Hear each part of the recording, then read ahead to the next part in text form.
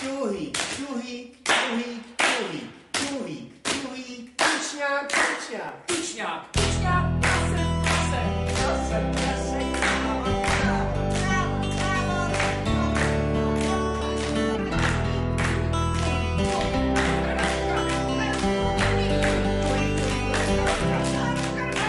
Existuje ještě jeden zaručený recept, aby se k tobě ženská vrátila.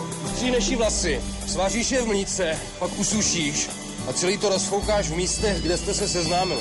Ahoj, Jano. Já zrovna na tebe myslím. Ty tvoje vtipy vůbec nejsou vtipný, uvědomuješ si to? Víš, ženský nejsou naše nepřátelé. Jsou to přátelé, ale hrajou tvrdou hru. No, tak vidíš, chtěl by se chudák leknout a nedokáže to.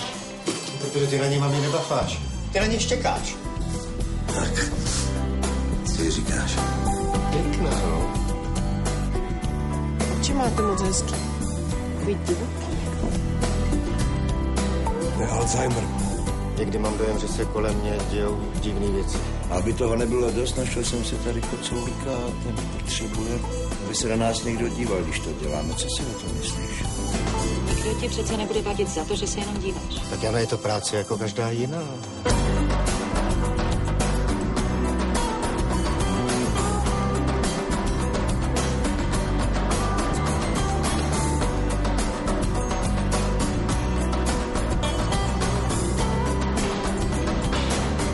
To je co?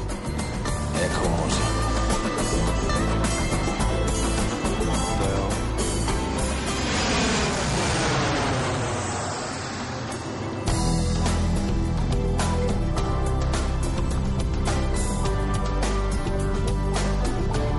No já tě špatně slyším.